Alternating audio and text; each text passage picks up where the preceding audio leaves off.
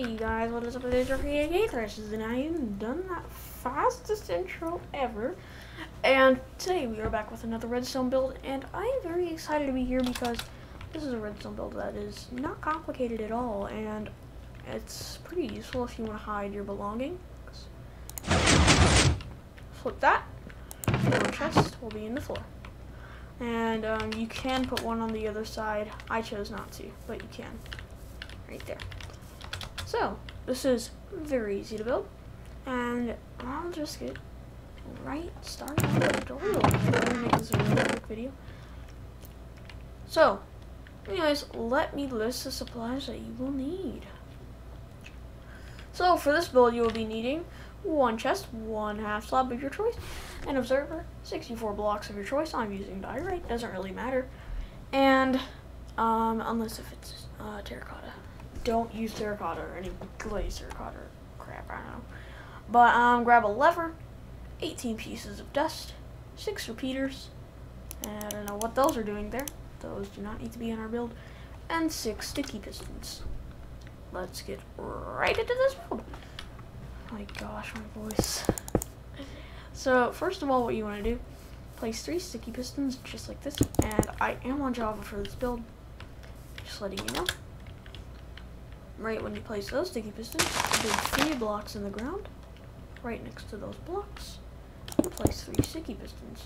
Stationary, you will not need to do anything. Next, you should, well, you should have this. These sticky pistons in the ground, all these blocks, those sticky pistons. Okay, let's go into the next part. Place three repeaters right here. One tick, Three more repeaters on three tick. That is not three ticks, so press it twice. And then link your dust. Make sure it is one block away from this line right here.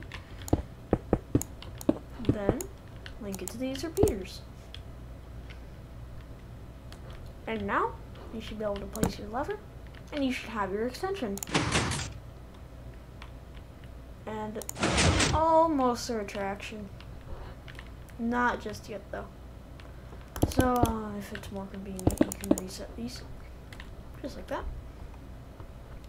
Now, what you'd like to do, have an observer facing off of that repeater. It would be detecting that repeater. Okay. Now, come around this observer right here and place redstone dust coming off of that off of that observer, going into these. Now it is time to build your floor. Place blocks like that, blocks like that, blocks like that, and then leave this block right here and place a half slab on the top instead. And the half slab is basically letting you open your chest because if you have a block and above your chest, well, it's not exactly trustworthy that it's going to open. So, But if you have a half slab above your chest, you will see